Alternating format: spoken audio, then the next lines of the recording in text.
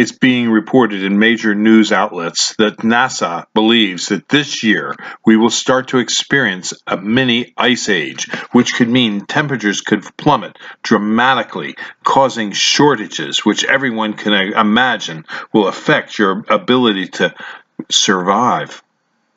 So I'm going to tell you in this video about some of the things that you might be able to do to help you get through it. One is collect pallets. Pallets are a great way to get wood for your house. You can cut them up, they're dry, they're ready to go.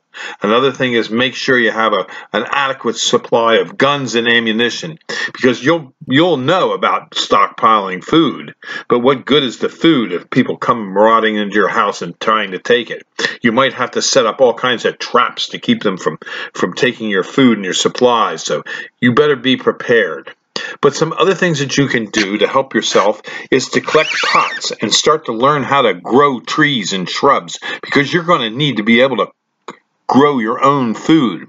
You'll want to save water bottles that you have because they can be recycled into miniature greenhouses to help you grow things that you can eat. But one of the most important things that you can do that'll cut down on the amount of work you have to do at your property is to put in green giant arborvitaes because they form a windbreak. And windbreaks are known to reduce wind velocity around your house dramatically, cutting your heating and cooling costs.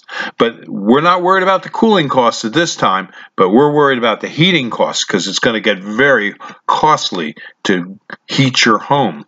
So being prepared is the name of the game, and Green Giant Arborvitaes can help you.